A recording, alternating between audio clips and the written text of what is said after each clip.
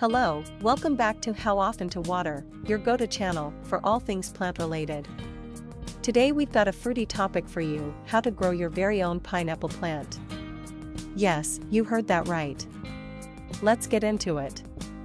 Many people think that pineapples grow on trees, but they actually grow on plants close to the ground. And the best part? You can grow one from a grocery store pineapple. Let's start with what you'll need. First, get a ripe pineapple. Check for freshness by tugging gently at the leaves. If they come out easily, the pineapple's too ripe.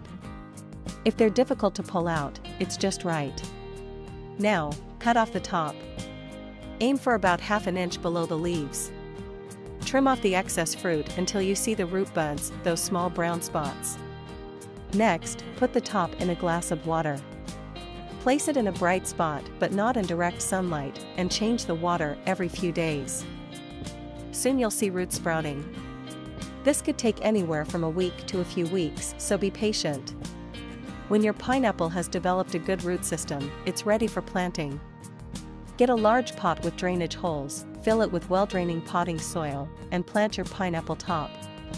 The question of the day, how often to water your pineapple plant? They're tropical plants that don't require a lot of water. Watering once a week should be enough, but if you live in a hot, dry area, you might need to water it twice a week. Make sure your pineapple plant gets plenty of light, and remember, patience is key.